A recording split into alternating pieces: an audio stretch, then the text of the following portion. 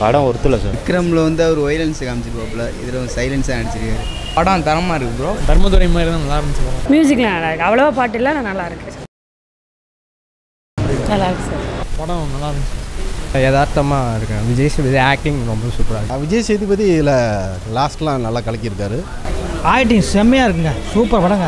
படம் ரொம்ப ஸ்லோவாக போகும் ப்ரோ பொறுமையாக பார்க்கணும். அந்த விரைவாக பணக்காரன்னு ஆசைப்படுறவங்க ஒரு த எடுக்கிற தவறான முடிவு அது அவங்க குடும்பத்தையே பாதிக்கும். அதை வந்து ரொம்ப பொறுமையாக சொல்லியிருப்பாங்க. அதை ரொம்ப பொறுமையாக பார்க்குறவங்களுக்கு பார்க்கலாம் ஸ்டோரி வந்து எப்படின்னா அவங்க பேசிக்காக வேறு மாதிரி கொண்டு வந்திருக்காங்க. மாடர்ன் அடித்ததை விட இப்போ வந்து ட்ரெடிஷ்னலாக இருக்கிற மாதிரி அந்த மாதிரி கொண்டு தர்மதுரை மாதிரி தான் நல்லா இருந்துச்சு இல்லை அந்த தர்மதுரை அளவு எதிர்பார்த்த அளவு இல்லை. நல்லா இருக்கு. இன்டர்வலுக்கு இன்டர்வலுக்கு முன்னாடி கொஞ்சம் போர் அடிச்சு இன்டர்வலுக்கு அப்புறம் கொஞ்சம் நல்லா இருக்கு. பார்க்குற மாதிரி இருக்கு. எல்லாமே நல்லா இருக்கு. விக்ரமில் வந்து அவர் வைலன்ஸ் காமிச்சிருப்பாப்புல. இதில் சைலன்ஸாக நடிச்சிருக்காரு. விக்ரம் மாதிரிலாம் இருக்காது.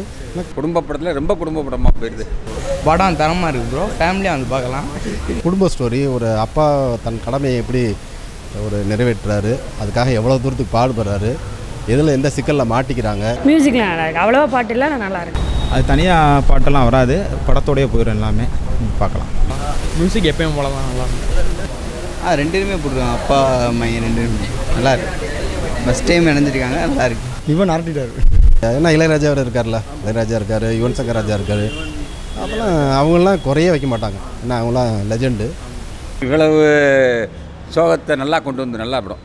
குடும்பத்தோடு பார்க்கலாம். இது அதாவது இந்த மாதிரி இப்போ ஆக்ஷன்ஸ் நிறைய படம் வந்துட்டு இருக்கு. அப்படிலாம் எதிர்பார்க்க வேணாம்.